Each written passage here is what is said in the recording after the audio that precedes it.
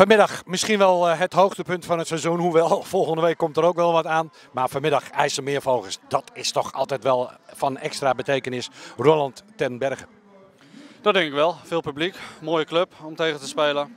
Uh, jongens kijken daar natuurlijk naar uit. En, uh, en vorig jaar natuurlijk een mooi resultaat gehaald hier thuis. Uh, prachtig weer natuurlijk, want uh, ja, je ziet het, uh, het is hoog zomer natuurlijk. Kijk, de mug, ook nog typisch iets van deze zomer. maar ja, nou, vanmiddag de spelers positief benaderd van de week. ja, natuurlijk, dat doen we altijd. Maar het gaat er ook wel eens even kritisch aan toe. Dat is ook goed. Hè? We, moeten, we moeten groeien nog steeds. We moeten met elkaar afspraken maken voor een plan iedere keer op zaterdag je wil zoveel mogelijk je eigen spel spelen en dat gaan we gewoon vandaag ook proberen. Dus dat betekent dat wij uh, ja, IJsselmeervogels uh, proberen om, uh, om aan te pakken vandaag. En dat doe je ook echt uh, met elkaar. Hè? Je, je lokt ook een, een soort discussie uit over jouw ideeën, jouw opstelling. En dan, ja, dan kun je de spelers daar natuurlijk ook weer op aanspreken. Dan gaan ze er zelf ook over nadenken, of niet? Of heb ik het verkeerd? Nee, nee, goed. Spelers hebben ook een mening en die moeten zich, die moeten zich goed voelen bij bij de keuzes. En uh, nou, soms zijn er wel spelers die, die wat twijfels hebben. En dan uh, ga je met elkaar voor- en nadelen bespreken. En, kijk, het uitgangspunt is eigenlijk altijd dat wij ons eigen systeem willen blijven spelen. Maar goed, je hebt wel te maken met de tactiek van de tegenstander. En waar, waar moet je op waar kun je je winst behalen. Spelen ze met twee spitsen en met drie spitsen. Nou, in dit geval verwachten wij dat ze vandaag met twee spitsen spelen. Nou, dan wil, wij, ja, wij willen gewoon het initiatief hebben. Dus vandaar dat we met drie man achterop gaan spelen. En dat zijn ook uh, twee spitsen die uh, een wedstrijd zomaar in een uh, minuutje of tien beslist kunnen hebben. Hè? Ja, dat zei die man van voetbal op zaterdag net ook inderdaad. die noemde ook de beide namen. Maar goed, wij hebben vandaag met de Ruiter en met, met twee die, waarvan ik persoonlijk vind dat die nog veel beter zijn. Ja, meer dan, meer dan vergelijkbaar met elkaar en zeker op technisch vlak. Ja, ja, ja. kijk, uh, uh, zeker uh, Maurice is technisch natuurlijk fantastisch. maar ook Roemion heeft, heeft beide. Technisch goed, is snel, is wendbaar. En dat, dat heeft onze grote vriend Ali natuurlijk ook, hè, dat hij super snel is en die is super sterk weer. Dus met alle respect zullen we dat ook gewoon goed, goed voor elkaar moeten hebben vandaag ten opzichte van die twee. Maar het is niet zo dat we, dat we ergens bang voor zijn, want nogmaals, wij hebben gewoon ook twee hele goede spitsen. Ik heb het idee dat het een 3-2 of een 4-3 wedstrijd wordt. Voor wie weet ik niet. Ik denk DVS. Ik zou het niet weten. Ik, uh, ik uh, heb een heel goed gevoel. Uh, um, dus ik ga, er, ga ervan uit dat, we, dat wij vandaag kunnen winnen. het zal niet makkelijk worden. Het is ook wel een beetje van toen ik hierheen reed, dacht ik ook bij mijn eigen van ja, vorig jaar op dit moment waren we eigenlijk al blij dat we wedstrijden konden, konden winnen. Hè, om te handhaven in die topklasse. En, uh, en nu verwachten we al bijna dat we gewoon uh, gaan winnen van IJsselmeervogels om, uh, om erbij te komen. En dat is ook mooi. Dat betekent ook dat zegt wat over de groei van, van de club weer. Ehm, maar goed, het moet vandaag op het veld gebeuren. Dus ik ben heel nieuwsgierig ook nou, hoe, de, hoe de ploeg hiermee omgaat. Oh, je stelt mij in ieder geval wel gerust. Want dat was je voor Harkemaarse Boys. Was je ook zo zeker van je zaak. En toen werd het 5-1. Nou, van mij mag dat vanmiddag ook. Ja, ik, ik schat deze behoorlijk hoger in hoor. ja, Oké, heel veel succes vanmiddag in ieder geval. Dankjewel, dankjewel. De scheidsrechter van vanmiddag, de heer Ritmeester, heeft gefloten ten teken van het feit dat DVS 33 IJsselmeervogels is begonnen. En dat onder een gesternte, ja, daar krijg je de koude rillingen van. Heel veel publiek. Gelijk een uh, gevaarlijke voorzet van uh, Ali Akla. En een schot van, oh, en hij zit erin. Och, och, och, niet te geloven zeg. Wat een prachtig schot van Osturk. Dit is natuurlijk een waanzinnig slecht begin voor DVS 33. Maar gelijk uh, visitekaartje van Ali Akla middels die voorzet. Even dachten we van, hé, hey, daar komt Sherwin Grot nu al aan. Maar nee, de afvallende bal was overduidelijk voor Osturk. En die brengt IJsselmeervogels hier op een 1-0 voorsprong. Wat een vreselijk begin is dat voor DVS. En wat een ontzettend snel doelpunt. Ik denk binnen 20 seconden. DVS uh, komt er nu uh, snel uit. Maurice de Ruiter, Maurice met de bal aan de voet uh, kijkt en schiet. En schiet net naast. Wat een begin van deze wedstrijd. Voorzet van Roald de Vries. Weer Benjamin Roemion. Kuivelda, Roemion, Velda. Velda, schot. Net naast. Mooi, goed gespeeld van Kai Velda. Prachtige paas. Koen Vloedgraven met de bal het strafschopgebied in. Benjamin Roemion. Benjamin Roemion. Wat doet hij? Hij schiet de bal net naast. Oh, oh, oh. Jammer. Joran Pot. Camara. Opdracht is duidelijk voor IJsselmeervogels. Wachten vanuit de gesloten defensie. Net als eigenlijk tegen VVOG. En dan uh, middels uh, razendsnelle omschakelingen proberen gevaarlijk te worden. DVS nog steeds. Balbezit. Rico Wolven. Lange bal. Op Benjamin Roemion. Daar kan hij natuurlijk niet bij. Nu toch balbezit. Uh, Roald de Vries. Maar Carmelia is er ook bij. Maar ook uh, Maurice de Ruiter. Die zet die bal daar prima voor. Oh! Wat een doelpunt! In één keer op de plof. Kuivelda. Een geweldige voorzet van Maurice de Ruiter. Ik denk dat ik gelijk ga krijgen. En dat deze wedstrijd wel eens kon gaan eindigen in een 3-2 of in een 4-3. Maar een zeer open wedstrijd. Maar als je zo'n bal vanaf zo'n afstand direct op de plof neemt. Wat zal dat een bevrijding zijn voor Kuivelda. Toch weer balbezit voor DVS. Pinacci. Pinacci naar Roemion. Roemion. Roemion. Wat ga je doen? Met die bal aan de voet. Maakt uh, korte, snelle bewegingen. Tikt hem terug. Koen Vloedgraven. Die weer terug naar Pinacci. Pinacci. Wat gaat hij ermee doen? Maurice de Ruiter. Prachtige beweging. En Maurice de Ruiter. Maurice de Ruiter! Maurice! Oh. Daar behoedt de doelman Jamie Schaap. IJsselmeervogels hier voor een achterstand. Wat een schitterende combinatie door het midden van DVS. Prachtig, prachtig daar. Benjamin Roemion gaat daar het gebied in. Probeert de bal voor te zetten. Twee verdedigers erbij. Koen Vloedgraven geeft hem terug op. Oh, de Vries raakt die bal volledig uh, verkeerd. Carmelia. Ja, DVS zit er uh, compact op, goed op. Prachtig daar uh, Maurice de Ruiter. Mooie actie. Wat gaat hij doen? Hij bedient daar Joran, Joran Pot. Joran Pot zet die bal goed voor. Benjamin Roemion laat de bal net even iets te veel van zijn voet afglijden. Maar uh, IJsselmeervogels uh, kan daar uh, over gaan nemen. Ali Akla die probeert dat te pasen. Ja, en daar komt IJsselmeervogels heel erg goed door. Dat is Van der Laar. En wat doet hij? Hij scoort. Ja, ja, IJsselmeervogels scoort via een snel uitgevoerde counter. Het was eigenlijk een misverstand. Heel jammer, heel jammer. Maar ja, overduidelijk en super goed gespeeld. Natuurlijk was dat paasje weer van Eina Ali Akla. Die heel goed zag dat Van der Laar Mike van der Laar, daar aan de linkerkant heel erg mooi de, de, de ruimte zocht. En ja, dat kon Ali Akla natuurlijk heel goed bekijken. En de paas kwam precies op tijd. En zo komt IJsselmeer volgens op een heerlijk momentje. In de 28e minuut ongeveer, 29e minuut, op een 2-1 voorsprong. Van Leijenhorst, Carmelia. Mooie beweging, Osturk. Kan gelijk doorgaan. Voorzet.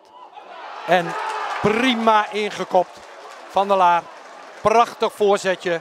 Osturk op de inkomende van der Laar. Die daar alle ruimte had om die bal in te koppen. Dit is een heel mooi uitgespeelde aanval. Kai Velda. Mooie, handige overstap. Nu Maurice de Ruiter. Maurice. Prachtig. Wat een bewegingen. Maar net even iets te lang gewacht. En ook Denis Sabas. Carmelia. Akla Carmelia. Sherwin Grot. Altijd lopend. Lopende spits. Ali Akla.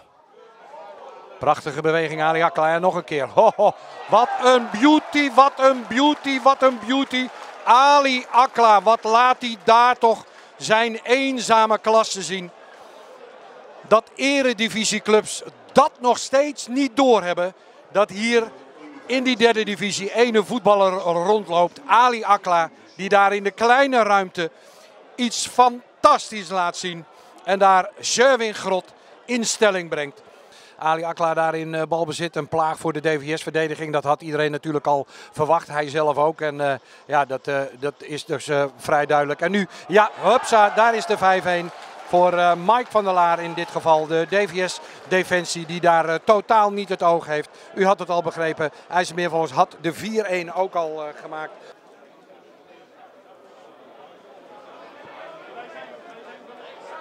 Sherwin Grot. Prachtig hakje. En Ali Akla tekent hier de 6-1 aan. De middag wordt steeds mooier voor de Vogels. 6-1.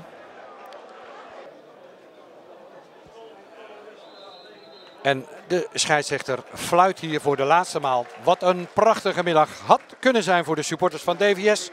Werd het voor de supporters van IJsselmeervogels.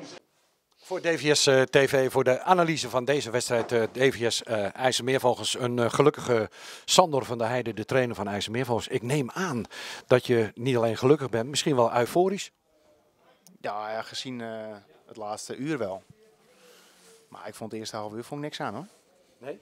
Toen vond je DVS te goed spelen ook? Ja, nou ja, goed. Ik, ik ben bij uh, Sprakenmiddag DWS geweest. En, en kijk, ik vind dat is wel bekend. Als je DWS laat voetballen, kunnen ze heel goed voetballen. En er zit er veel beweging in. En komt Maurice eruit, dan komt in de bal. En dan komen de mensen onder. En dan gaan de andere mensen lopen. En dat is heel lastig.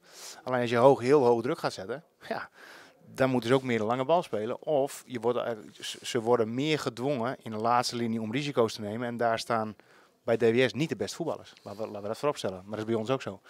Dus ik vond het eerste half uur vond ik qua druk zetten, vond, vond niks aan om te kijken. En uh, eigenlijk viel de 1-2 ook, uh, was op dat moment onterecht, maar wel een, door een moment dat we heel hoog druk zetten. Bal de keeper, die moet die bal naar voren schieten. En als je dan snel terug gaat sluiten, ja, dan, dan kan je van daaruit doorvoetballen. En dan hebben ze, nou ja, dat, dat is wel het gevaar voor DWS, dat ze in omschakeling, ja, toch heel veel voetballers hebben. En dat is heel mooi, dat vind ik zelf ook mooi.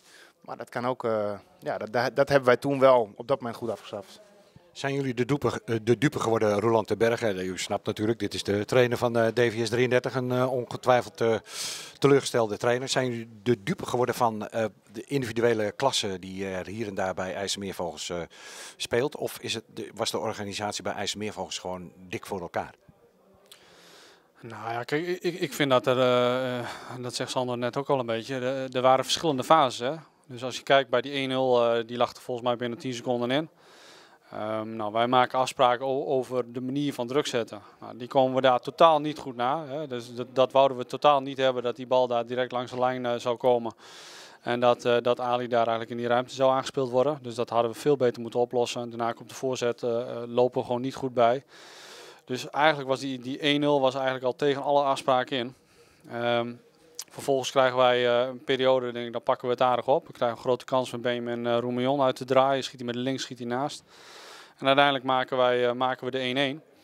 En ik vond dat we na die 1-1 uh, ja, gewoon goed voetbalden. Uh, er zat tempo in, het spel werd regelmatig verplaatst. En ja, het, mooiste moment vond ik wel die aanval waar uiteindelijk eigenlijk, waar wij de 2-1 moeten maken. Met Maurice de Ruiter, die, de korte combinatie door het centrum. Ja, dat was een fantastische aanval en dan moet je eigenlijk gewoon op 2-1 komen. En aan de andere kant ja, maken hun hem. En uh, dat vond ik ook een situatie. We gingen toen wel wat hoge druk zetten. Dat had ook denk ik te maken dat wij gewoon goed voetbalden in die fase. Gingen hun wat meer druk zetten. En denk ik dat wij vanaf dat moment vanuit de keeper ja, harder moeten blijven voetballen. speelden we hem lang. vanuit de omschakeling valt die bal terug. Of vanuit de omschakeling, vanuit het duel. Dan komen hun snel uit en maken hun, maken hun 2-1. En vanuit de 3-1 stonden we ook niet goed, goed te verdedigen. Dus eigenlijk wat we eigenlijk uh, opgebouwd hadden, vond ik, na die 2-1, uh, ja, laten, we zo weer, laten we zo weer wegglippen. En dat was ook wel de verdienste van IJsselmeervogels, dat het duidelijk zijn.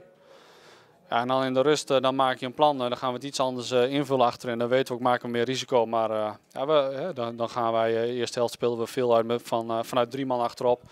En de tweede helft zijn we gewoon vanuit vier man, waarbij je centrum dan heel veel één op één komt te staan. En dan neem je meer risico. Maar het is 3-1 en uh, wij willen gewoon graag winnen. En we willen graag minimale punten halen, laat ik dat zo zeggen. Want het was 3-1. Ja, en dan heb je gegokt en verloren. En uiteindelijk denk ik, ik zei het net al tegen Sander, van volgens mij hebben we echt, echt zeven ballen op doel gehad. waarbij er gewoon zes ingaan. Ja, dat, dat moeten we onszelf wel, wel aanrekenen natuurlijk dodelijk effectief heb ik het uh, genoemd. En jullie maakten van gepaste, op een gepaste wijze gebruik van de ruimte die, uh, die je kreeg op een gegeven moment door de risico's die DVS uh, wilde nemen. Door die 3-1 achterstand natuurlijk in de tweede helft.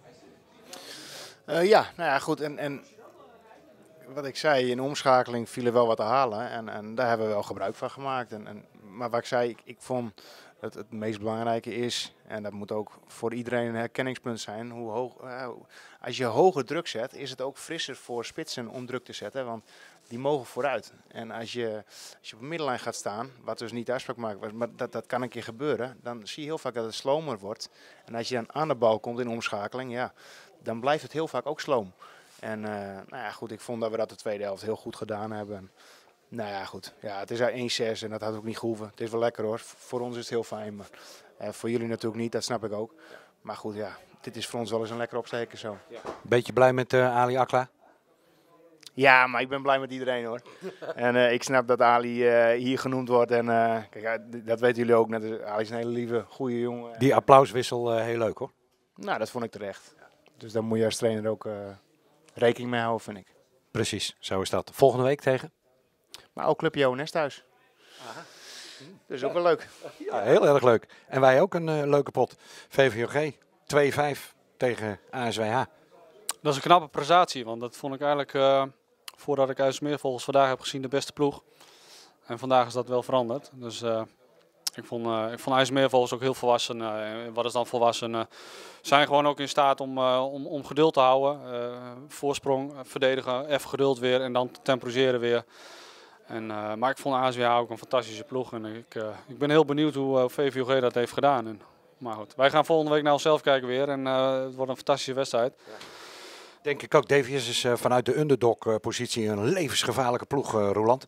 Ja, dat zijn jouw woorden. Oké, okay. bedankt uh, voor deze analyse. Ja, oké. Okay. Okay.